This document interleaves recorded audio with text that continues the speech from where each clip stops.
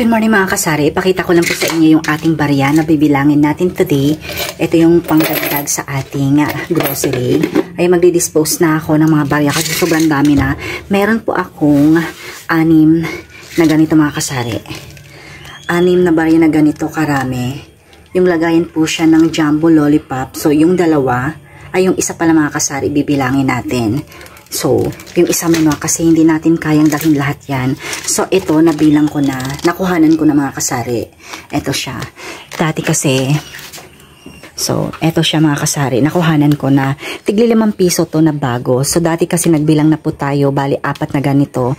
Nakabilang po tayo ng 12,000 pesos. Kasi, ang laman ng isang ganito mga kasari, yung lagayin natin ng bubble gum, is 4,000 mga kasari. Depende sa pagkasiksik ng barya mga kasari. So, kanina nagbilang po tayo. Hindi ko lang po siya na-vlog. So, ito lang po yung kaya kong dalhin. Ayan, nakapagbilang tayo ng 1,500 pesos mga kasari. So, eto, siguro next time na lang siguro pag nang-grocery tayo kasi sobrang bigat mga kasari. Nakakangali yan sa ano, balikat. So, eto muna, yung 1,500 mga kasari. Dagdag po yan sa pang-grocery natin today para hindi naman tayo lugi sa ating pamasahe. Tsaka, mabili po natin lahat yung ating nailista. So, ganun mga kasari ang ginagawa ko. Nagtatabi po ako ng 50 pesos every day, lalo na pag yung mga 5 pesos is barya na bago. So, tsaka yung makintab. So, tinatabi ko yan mga kasari. Yun po yung technique ko para yung, uh, yung, yung, yun yung pinaka-savings ko sa, uh, ano dito, sa aking munting sari-sari store. Kahit pa 50-50 lang yan araw-araw.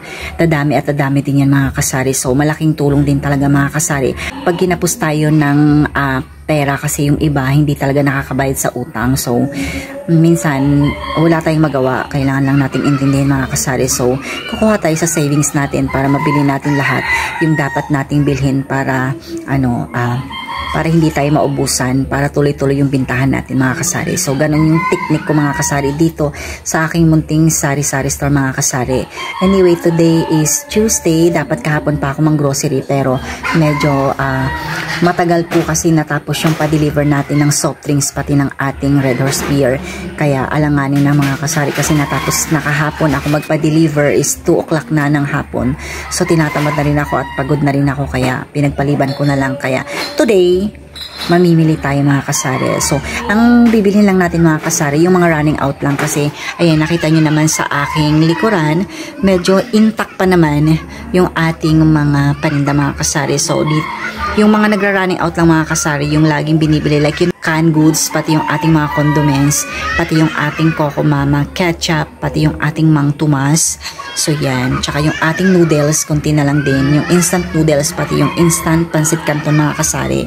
Ayan, so pati bili na rin tayo ng ating mga laundry product kasi mabentay lagi yan kasi araw-araw may naglalaba mga kasari. So, ganun lang po yung ginagawa ko mga kasari. Kayo din siguro, nagtatabi-tabi din kayo ng savings nyo kahit paunti-unti yan. Pero dadami at dadami yan mga kasari. So, yun lang po mga kasari. That's all for today's video and thank you for watching and have a nice day. Bye-bye. Ingat.